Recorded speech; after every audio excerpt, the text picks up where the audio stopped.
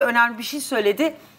Kasım seçimlerine yani 2015'teki seçimlere giderken e, olan olayları hatırlattı ve iki e, şehit polisi özellikle altın çizdi Ceylan Pınar'da şehit edilen iki polisin kim tarafından şehit edildiği ve neden sonrasında hiçbir e, gerçek ortaya çıkmadı ya da ne olduğunu tam olarak bilemedik. Bunlara atıfta bulunmuştu. Barış, e, teşekkür yani, etmeden önce Levent Göke buyur sana söz ya bırakıyorum. Aslında bence e, saydık saydık ama en yakın bir siyasi suikast tanımının tam içine girecek bir hikaye var. Biliyorsunuz HDP İzmir İl Başkanlığı'na basarak Deniz Poyraz ismindeki genç bir kadını öldüren e, Onur Gencer, bugün iddianamesi hatta okumuşsunuzdur çıktı.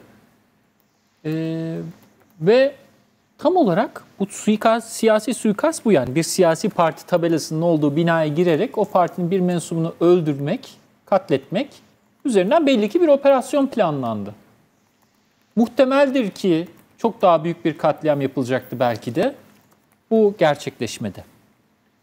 Bugün iddianamesine bakıyorsunuz. Ya bir kere ben o Levent Bey biliyorsunuz o gözaltı yerini ben bilirim. Dört gün kaldım orada 10 sene önce. Bir gün gözaltında kaldı burada. Hemen mahkemeye sevk edildi. Çünkü niye sizi dört gün gözaltında tutarlar?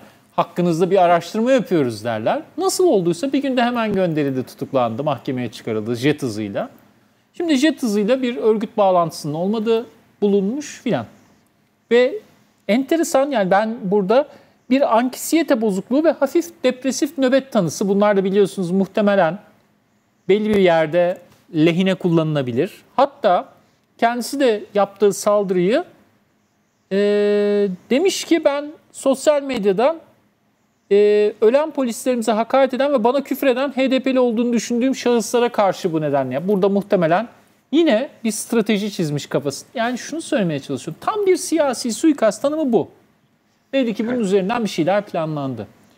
Ama ben sizin söylediklerinizden böyle bir istihbarat Kore Aydın'ı da tabii ki olsaydı onu da söylerdim. Bir istihbarat filandan çok bir süreç okuma olarak anlıyorum. Türkiye'nin geldiği kutuplaşma ortamından hareketli bir süreç olarak algılıyorum. Peki siz iki tane şey soracağım. Bir tanesi Cumhurbaşkanı çıktı dedi ki muhalefet özetleyeyim konuşmasını sakın ha ülkeyi yönetmeyi aklına koymasın dedi. Evet. Bu, Şimdi yani bu... normalde muhalefet ne yapmaya yapabilir? Yani dondurmacı dükkanı mı açsın, süpermarket işletip domates tüccarlığı mı yapsın yoksa bir muhalefet siyasi parti tabelası olduğunu göre ülkeyi yönetmeyi aklına koyacak. Bunu söyledi.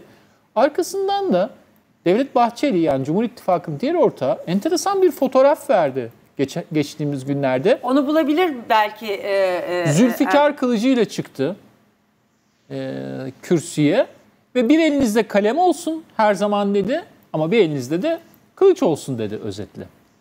Hani kalem ve kılıç korelasyonunun Türk tarihinde maalesef bazı yani e, kalemin yetmediği yerde kılıcın kullanıldığı şeylerle özellikle biz 70'li yıllar başta olmak üzere bazı hadiselerle karşılaştık.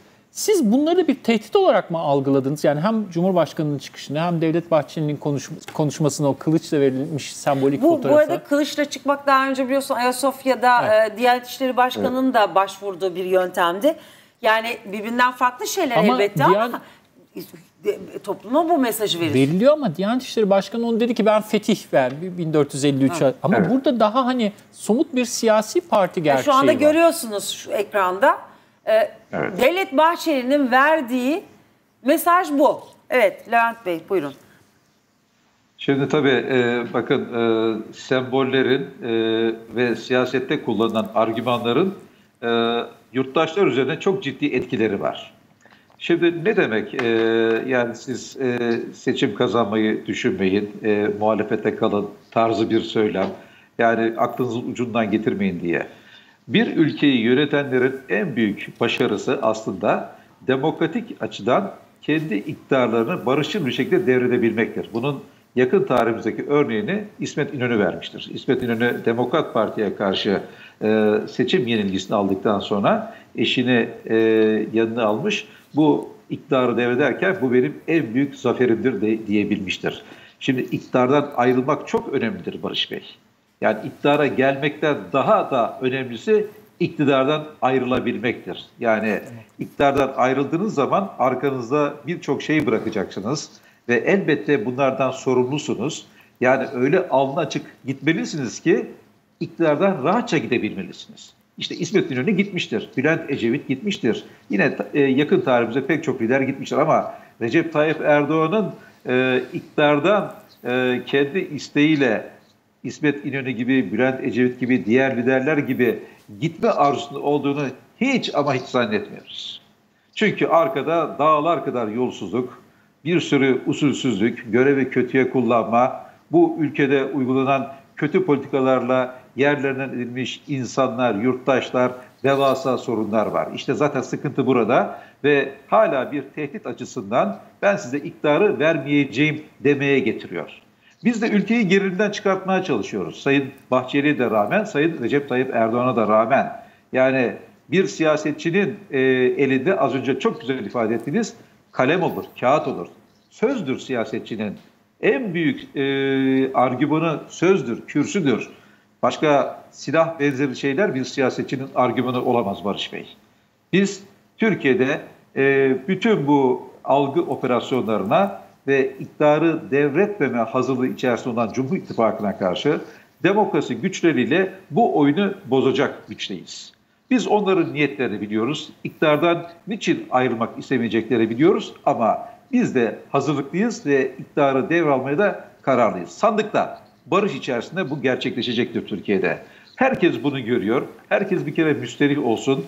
Bütün bu yapılan usulsüz uygulamalara karşın Türkiye'de demokrasi güçleri kazanacaktır.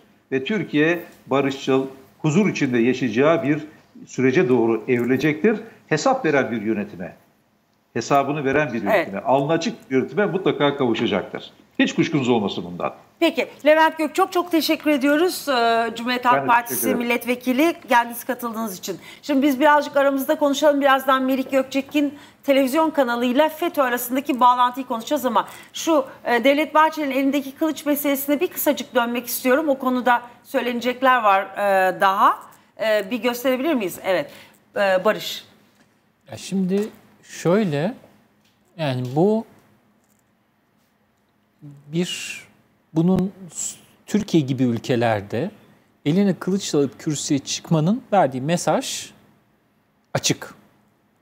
Hele e, mesela Halk TV'nin önünden geçen, Yeni Çağ Gazetesi'nin önünden geçen, işte Selçuk Özdağ örneğini gelecek adlarını sayamadığım için özür dilerim hepsinin. İnsanların size hani karşı bir dönem eski ülkücü veya işte MHP eleştiri yapan insanların sokak ortasında dövüldüğü, dövenlerin de belli sembolleri yaptığı. Ben bir camiayı toptan suçlamamak adına sadece o kişileri suçluyorum. Belli bir sembolleri yaptığı, sonra da belli yerlerden yani bir siyasi eğilimden feyz aldıklarını söyledikleri bir yerde. Veyahut da belli mafya gruplarının, mafyanın ideolojisi olur mu? Bence olmaz. Mafya, asalak sınıfıdır mafya mafya gruplarının adlarının başına ideolojik bildiğiniz o kelimeyi takarak kendilerine sanki toplumsal bir rol biçiyorlarmış gibi yaptığı bir yerde. Hele hele Hrant Dink gibi, Ahmet Taner Kışlalı gibi, daha geri gidin, Bahçeli Evler katliamı gibi, Bedri Karafakioğlu'nun öldürülmesi gibi vesaire vesaire. Kimi akademisyen, kimi yazar, Uğur Mumcu gibi insanlara saldırı geleneğinin, katledilme geleneğinin olduğu bir yerde siyasetçilerin bu konudaki söylemine hele geçmişlerinde maalesef bunu birçok insan söylüyor.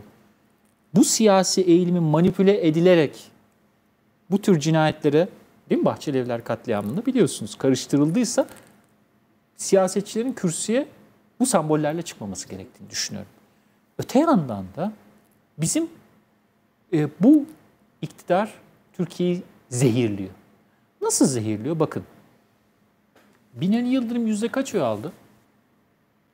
İBB seçimlerinde İstanbul Büyükşehir yüzde 46 aldı. Yüzde 46 başarısız bir oyun mu ya? Hayır. Değil. Cumhurbaşkanı Recep Tayyip Erdoğan 1994 e, yılında yüzde 25.6 mı? bunun neredeyse yarısı kadar oy aldı. Hatırlayın DSP adayı vardı, CHP adayı vardı falan falan vardı vardı. Yani solun ortası da vardı, ortanın solu da vardı. Merkez sağda vardı,